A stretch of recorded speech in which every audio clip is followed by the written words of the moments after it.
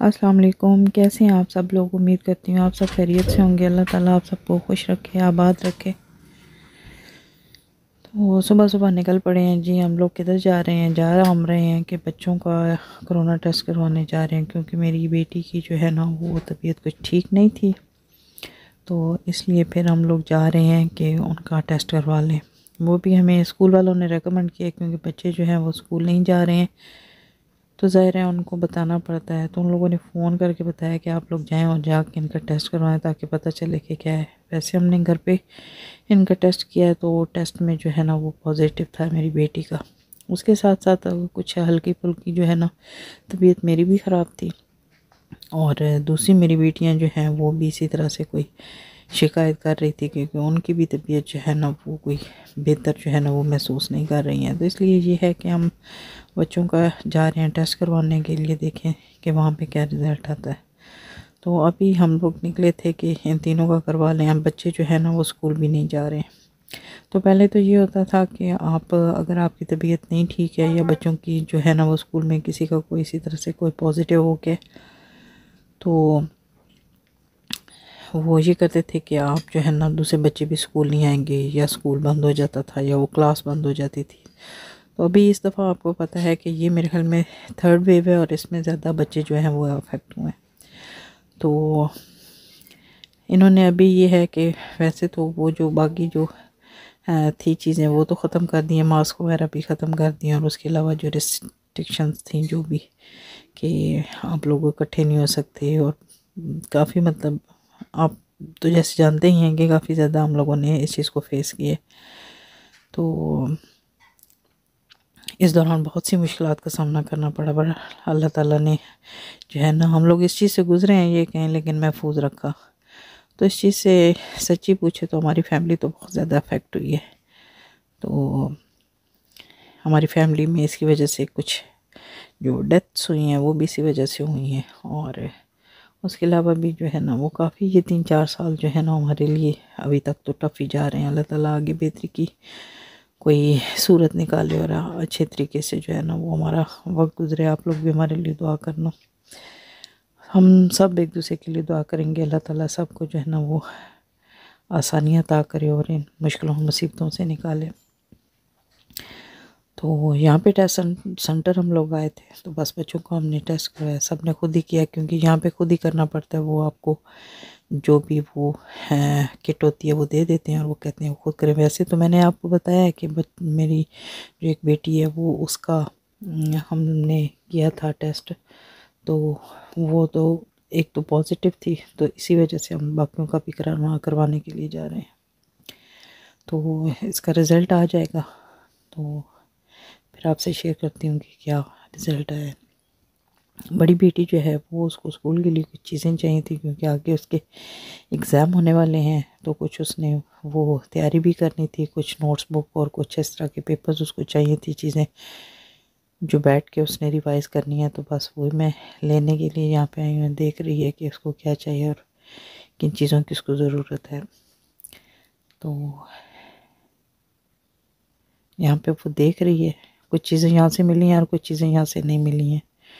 तो जो यहाँ से मिल जाएँगी वो ले लेंगे और उसके बाद हम लोग जो है वो जाएँगे। दूसरी तरफ़ अगर आप इसको यहाँ से ना मिली ना तो वहाँ से दूसरे स्टोर से ले लेंगे। तो देख रही है कि भाग दौड़ तो बहुत ज़्यादा होती है। कोई एक चीज़ भी लेनी हो तो आप कहेंगे आपको एक जगह से मिल जाएगी तो वो बहुत मुश्किल है। सच्ची सी बात तो आपसे ये करने को दिल चाह रहा था कि आप क्या समझते हैं कि ये जो हालात हमारे जा रहे हैं, क्या हमारे ऊपर आजमाइश है या हमारे गुनाहों का ये नतीजा है? सबके हालात तो ऐसे नहीं है, अल्लाह ताला किसी को भी किसी भी परेशानी में ना डाले, लेकिन यह है कि कभी कभी ऐसे फील होता है कि ज़िंदगी से लगता है कि सुकून ख़त्म ही हो गया तो हर वक्त की एक परेशानी और हर वक्त की एक टेंशन लगी रहती है। तो दिल जो है ना वो इन हालात में काफ़ी ज़्यादा जो है ना वो परेशान हो गया है कि मतलब कब ये परेशानियाँ जो हैं वो ख़त्म होंगी। यकीन करें कुछ इस बीमारी की भी परेशानी थी कुछ जो है वो अपने प्यारों के खो जाने की इतनी तकलीफ़, इतना दुख है ना, कि चौबीस घंटे जो है ना ऐसे लगता है कि बस अफसरदगी सी तारी तारी रहती है। तो मेरे जो कुछ व्लॉग्स हैं मतलब वो इसी वजह से वो डिले हो जाते हैं क्योंकि मतलब कोई ना कोई आए ना, दिन कोई ना कोई ऐसी परेशानी और ऐसी तकलीफ़ आ जाती है कि बस उसी में से जो है ना वो निकलते निकलते जो है ना वो वक्त निकल जाता है। मुख्तसरा ये कि हर वक्त इंसान क्या बीस घंटे ये रोना लेके बैठा रहे तो इस वजह से अवॉइड ही करते हैं कि अपना जो है वो व्लॉग आपके साथ शेयर ना करें। पिछले भी मैंने वीडियो में आपको बताया था कि जो सिचुएशन गुजर रही होती है, दिल तो ये चाहता है कि उसको कैप्चर करूँ और उस हवाले से बात करूँ, लेकिन फिर जो है ना वो आपको तो पता ही है कि परेशानी बनी हो तो आप कहें कि उस वक्त आप वो सारी जो है वो चीज़ इस तरह से रिकॉर्ड करके आपके सामने पेश की जाए तो वो हो नहीं सकता। जब मैं बिल्कुल नॉर्मल हो जाती हूँ, फिर आपके साथ आके जो है ना फिर मैं बात करती हूँ कि हाँ जी। अब जो है वो मसला जो है वो सेटल डाउन हो गया है तो ठीक है जी, अब जो है वो एक दूसरे के साथ बात करनी चाहिए बहरहाल चलें ये तो ज़िंदगी का एक हिस्सा है। हमारे घर में मेहमान आए हुए थे। हमारी ये छोटी सी प्रिंसेस आई हुई थी। इतनी क्यूट है, माशाल्लाह से। तो इसके साथ इतना प्यारा वक्त गुजरता है ना कि पता ही नहीं चलता। तो अभी इसको मैं उठा के बैठी सो रही हूँ। तो काफ़ी मैंने इसको छेड़ने की कोशिश की है कि ये उठ जाए, लेकिन इसने कहा कि जी नहीं। ये तो इसको ऐसी गहरी नींद में सोई हुई थी कि उठने का नाम ही नहीं ले रही थी। तो मैं इसको उठा के मज़े में थी और ये मेरी गोद में बैठ गई। बहुत रिलैक्स हुई हुई थी। तो साथ हम लोग टीवी देख रहे थे। किचन में आ गई हूँ और किचन में आके क्या करने लगी हूँ? अच्छा ये मैं आपको बताऊँ ये जो चीज़ मैं शुरू करने लगी हूँ ना इसको करने में मुझे दो दिन लग गए। और मेरे ख्याल में बहुत ज़्यादा अगर इसको आ, किया भी जाए तो ज़्यादा से ज़्यादा आपको घंटा लग जाएगा ये काम करते हो क्या है जी? मैं बना रही हूँ एक स्पेशल चीज़ बना रही हूँ। पता नहीं आप लोग इस चीज़ को जानते होंगे, बहुत से लोग जानते होंगे जी, मेरी बचपन की यादों में से एक याद है। इसको चूरी कहते हैं। चूरी है जी, जो चूरी रोज़ा होता था, उसके ऊपर बनाई जाती थी। अभी ना तो वो सीज़न है और ना ही कोई, कह लें कि कोई चूरी रोज़ा है तो क्यों बना रही हूँ? असल में ये, मैं पाकिस्तान से वो मंगाना चाह रही थी तो मेरी बहन ने जो ये उसका चूरी रोज़े का आटा है वो भेज दिया था। तो ये थोड़ा सा मोटा मोटा था तो वो भी बता रही थी कि मुझे वो स्पेशल वो नहीं मिला, लेकिन मैंने आपको वो एक किस्म का दलिए वाला भेज दिया तो आप उसको जो है वो कर लेना। थोड़ा सा ग्रैंड कर लेना और उसके बाद आप जो है ना वो उसकी बना लेना।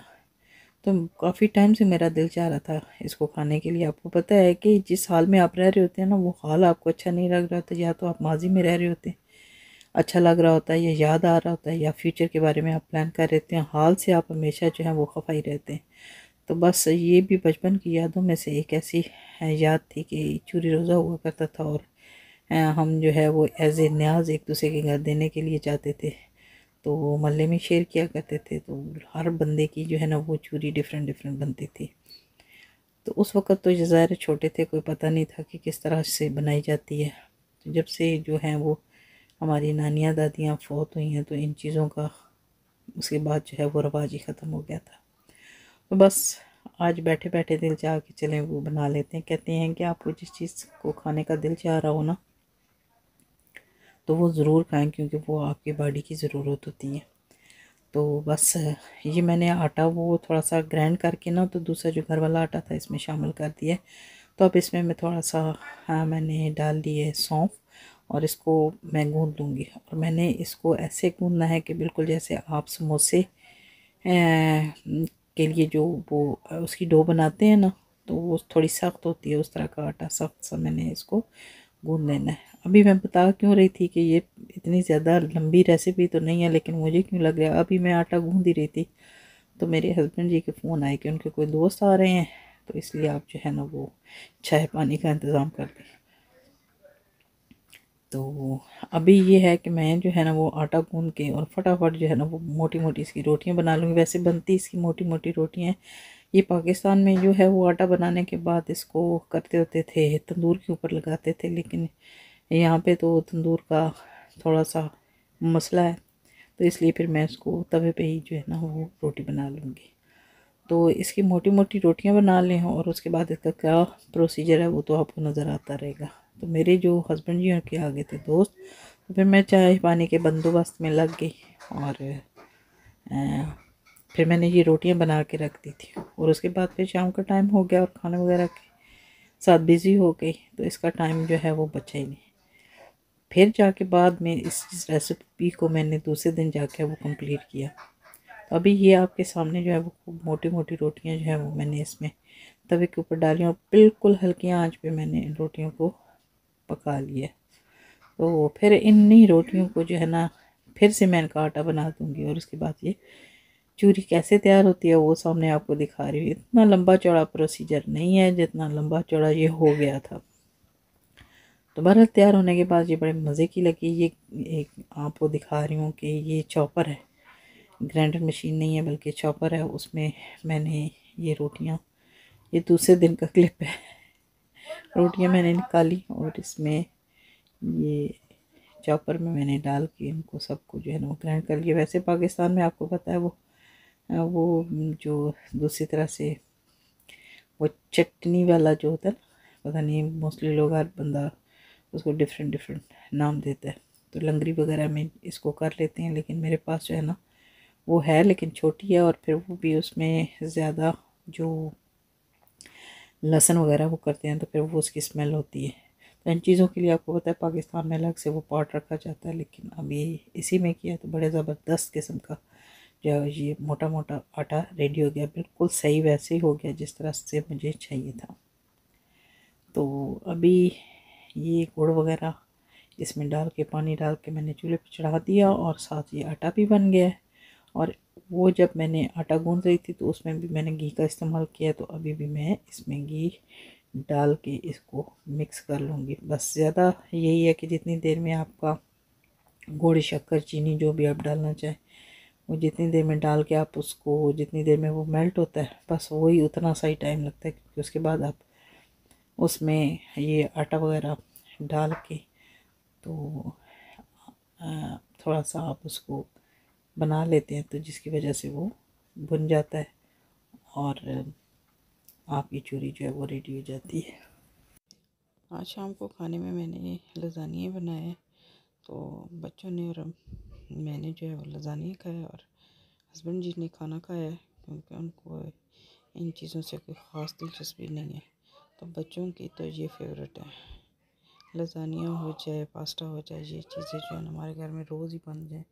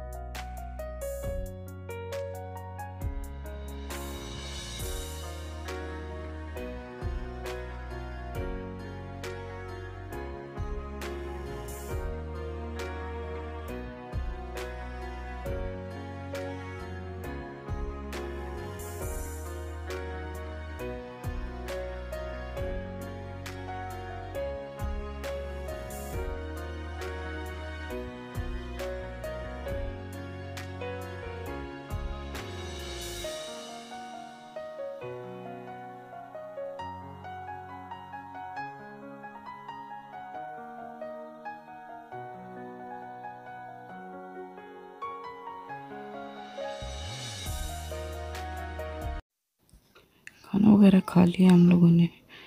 अब इसके साथ जो है वो आपसे चाहूँगी इजाज़त और हम बैठ के देखेंगे टीवी और इन आपसे मुलाकात होगी किसी नए ब्लॉग में। दो में याद रखिएगा, अपना बहुत सा ख्याल रखिएगा। अल्लाह हाफिज़।